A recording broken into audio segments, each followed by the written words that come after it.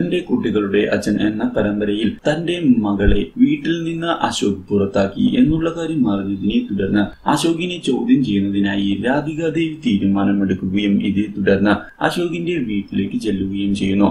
അശോകിനോട് എന്തിനാണ് തന്റെ മകളെ പുറത്താക്കിയത്? എന്ന് ചോദിക്കുകയും അങ്ങനെ എളുപ്പം വലിച്ചെറിഞ്ഞു കളയാൻ സാധിക്കുകയില്ല എന്നുള്ള കാര്യം അറിയിക്കുകയും ചെയ്യുന്നു. ഇതിനെതിരെ നിയമപരമായി താൻ നേരിടും എന്നുള്ള കാര്യം രാധിക ദേവി അശോകിനോട് പറഞ്ഞതിനെ തുടർന്ന് അശോക് നിങ്ങൾക്ക് ഇഷ്ടമുള്ളതുപോലെ നിങ്ങൾ കാര്യങ്ങൾ ചെയ്തുകൊള്ളൂവെന്നും എന്തായാലും താൻ അവളെ ഇനി ജീവിതത്തിലേക്ക് കൊണ്ടുവരാൻ ഉദ്ദേശിക്കുന്നില്ല എന്ന് പറയുകയും ചെയ്തതിനെ തുടർന്ന് രാധിക ദേവി തിരിച്ചടികൾക്കായി അശോക് ഒരുങ്ങിയിരുന്നു കൊള്ളാൻ പറഞ്ഞതിനു ശേഷം പോലീസിൽ പരാതി നൽകിയിരിക്കുകയാണ്.